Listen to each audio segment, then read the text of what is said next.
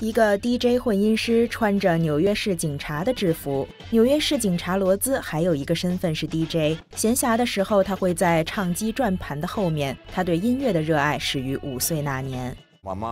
我妈妈有一个小立体声音响，音响顶上有一个唱机转盘，她把它放在架子上，所以我必须踮起脚尖操控唱盘，试着模仿我在收音机里听到的嘻哈音乐。他对音乐的热爱一直贯穿于他在海军服役的五年和二十年的警察生涯。后来，他参加了一场警察和孩子们的 DJ 大战，这是纽约市警察局社区治安宣传活动的一部分。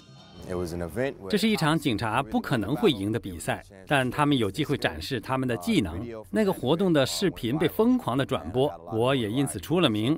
从那以后，我做了很多身穿警服做 DJ 的社区活动。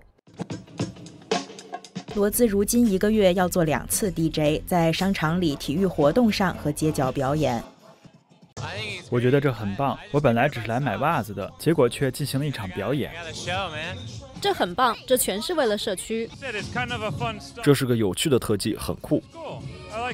纽约市警察局的社区宣传项目是警察局工作的重中之重，通过一种独特的方式帮助警察跟年轻人建立连接。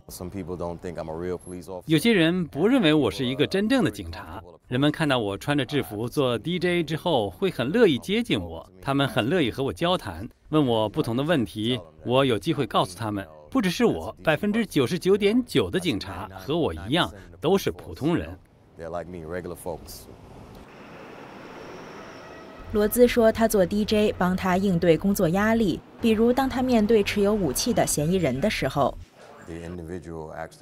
那个人真的在附近见过我，他认出了我，变得非常冷静。我让他放下刀，他立刻放下刀。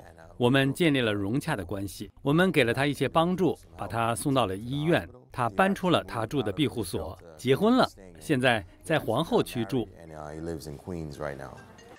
罗兹有一个 Instagram 账号，他在那里发布自己的歌曲。他的网友中有他的警察同事，还有被他对音乐的热情感染的人，纽约和世界各地的音乐名人。